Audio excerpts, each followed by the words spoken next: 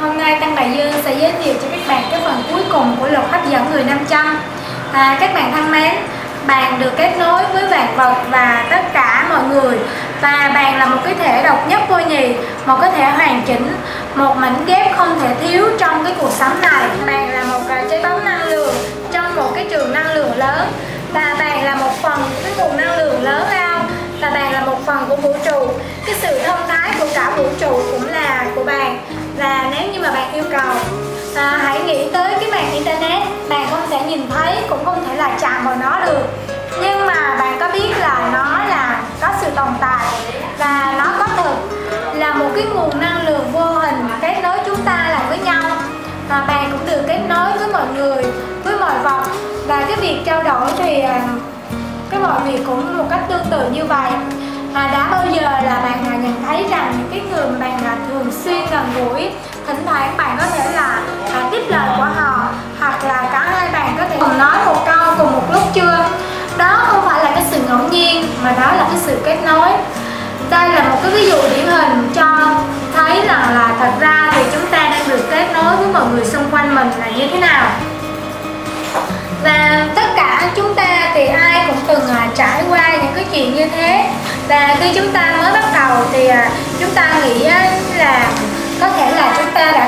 máy hoặc là không nói chuyện trong à, nhiều năm liền. Và bỗng vài phút ờ, sau cái cuộc điện thoại và người ờ, mà chúng ta nghĩ tới đang ở đầu dây bên kia hoặc là mình vừa nghĩ tới cậu xong thì ờ, chúng ta lại thốt lên ngạc nhiên. Suy nghĩ của chúng ta thì di chuyển qua cái không gian và thời gian với một cái vật gốc là đáng kinh ngạc. Thông qua cái sự kết nối của mình và bạn có thể là bắt nguồn từ những cái suy nghĩ, những cái ý định của họ trước khi mà họ bấm số. Và cũng có thể chính những cái suy nghĩ của bạn đã kích thích là họ gọi cho bạn. Nhờ cái lực hấp dẫn mà mọi người trong chúng ta giống như là một cái thỏi nam châm, nó có sức hút lớn và hấp dẫn được nhiều thứ hơn. Và chúng ta cũng cảm nhận được ở một cái thời điểm nhất định. Và bạn là một cái thỏi nam châm sống. Bạn hút theo cái nghĩa đen của cái từ này đó là người vật hay là những cái ý tưởng những cái tình huống mà có cái tần số năng lượng rung động và cộng hưởng như là về phía bạn. Cái trường năng lượng của bạn thì thường xuyên thay đổi và nó phụ thuộc vào những cái suy nghĩ cảm xúc của bạn. Và vũ trụ thì như một cái chiếc gương phản chiếu à, nó chiếu những cái phản chiếu cái nguồn năng lượng mà bạn tạo ra. Những cái suy nghĩ và cảm xúc của bạn mãnh liệt hơn càng mãnh liệt bao nhiêu? Thì à, lực hút của bạn à, càng mãnh liệt bấy nhiêu. Và cái quá trình này thì không đòi hỏi bất kỳ một cái sự nỗ lực nào. Và 500 thì không phải là cố mà hút vật mà đơn giản thì à, nó chỉ là đặc tính hút vật và bạn thì cũng vậy.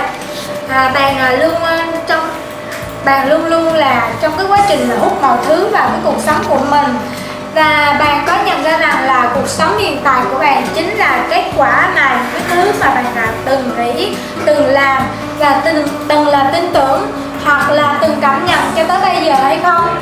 Và ngay lúc này thì à, bạn có thể là bắt đầu là à, chuyển động à, hấp dẫn một cách hấp dẫn một cách là trí tuệ bất cứ cái thứ gì mà bạn khao khát trong cái cuộc sống này. Bằng cái việc đó là bạn à, sử dụng cái luật hấp dẫn bạn có thể là hấp dẫn con người niềm tin hay là cũng có thể là tiền bạc, những cái ý tưởng, những cái chiến lược và cả những cái tình huống. Tất cả những mọi thứ mà có thể là mang lại cái cuộc sống nhưng mà bạn mơ ước. Cả các con người chúng ta thì đều là kết quả của những cái gì mà chúng ta suy nghĩ. Và bạn là có quyền năng hơn nhiều so với những gì mà bạn nghĩ. Bạn tạo ra mọi thứ trong cuộc sống của mình, của chính bản thân mình và một khi mà bạn đã hiểu thấu đáo về cái điều này và chịu trách nhiệm về nó, thì à, bạn có thể là làm những cái điều gì mà bạn đặt ra. Bạn là tác giả của cuộc đời mình và bạn có thể là chọn cho nó bất kỳ một con đường nào mà bạn yêu thích. Bạn có khả năng là thay đổi cuộc sống của bạn. Và bạn cũng có khả năng là kiến tạo nên tương lai của mình như là mình mong muốn. Tài năng của bạn thì là vô hạn.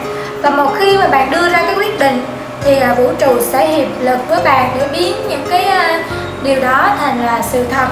Và hy vọng với những cái chia sẻ của Tân Đại Dương, thì à, Tân Đại Dương cũng hy vọng bạn sẽ trở thành là người nam trong trong cuộc sống của bạn.